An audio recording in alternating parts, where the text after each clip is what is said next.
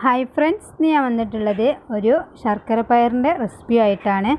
അപ്പോൾ നല്ല ടേസ്റ്റ് ഉള്ളതും അധികം ഇൻഗ്രീഡിയൻസ് ഒന്നും വേണ്ട. നമ്മളെ കയ്യിൽ കിട്ടുന്ന സാധനങ്ങൾ മാത്രം മതി. അപ്പോൾ നമുക്കത് എന്തൊക്കെയാണ് വേണ്ടതെന്നൊന്ന് നോക്കാം. പിന്നെ കുറച്ച് വൻപയർ വെള്ളത്തിലിട്ട് കുതിർത്ത് വെച്ചത് വേണം. എന്നിട്ട് അതിലേക്ക് ലേശം ഉപ്പിട്ടിട്ട് ഒന്ന് വേവിച്ചെടുക്കണം.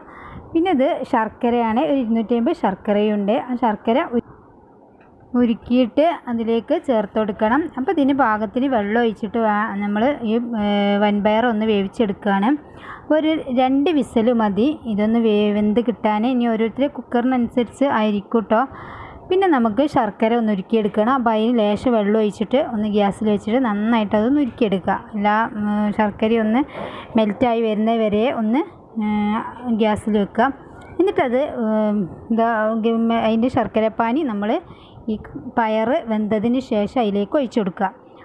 എന്നിട്ട് ആ ശർക്കരപ്പാനിയിൽ വേണം. പിന്നെ നമ്മൾ അതിലേക്ക് ചേർക്കാൻ പോണത് രാഗിപ്പൊടിയാണ്. ഈ രാഗിപ്പൊടി പറഞ്ഞാൽ മുത്താറിപ്പൊടിയൊക്കെ അല്ല അതാണ്. ഇനിയിപ്പോൾ അത് കയ്യിലില്ല എന്നുണ്ടെങ്കിൽ നിങ്ങൾക്ക് ലേശം അരിപ്പൊടി ചേർക്കാം കേട്ടോ.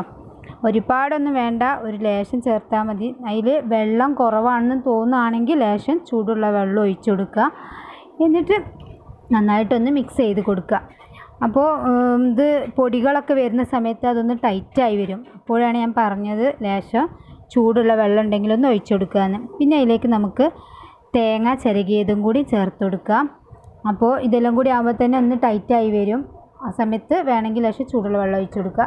അല്ലെങ്കിൽ അതിൽ വെള്ളം ഉണ്ടെങ്കിൽ അത് തന്നെ മതി. ഇതെല്ലാം കൂടി നന്നായിട്ടൊന്ന് മിക്സ് ചെയ്ത് കൊടുക്കുക. അപ്പോൾ അതാ നമ്മളെ ശർക്കര പയർ റെഡി ആയി കഴിഞ്ഞിട്ടുണ്ട്. അപ്പോൾ എല്ലാവരും ഒന്ന് ട്രൈ ചെയ്ത് നോക്കുക. നമ്മളിവിടെ പറയുന്നതാണ് ശർക്കര പയർ എന്ന്. ഇനി ഓരോരോ നാട്ടിൽ ഓരോ ഭാഷ ആയിരിക്കും. അപ്പോൾ നിങ്ങളുടെ നാട്ടിലൊക്കെ എന്താ പറയുന്നത് വെച്ചാൽ അതൊന്ന് കമന്റിൽ അറിയിക്കണം.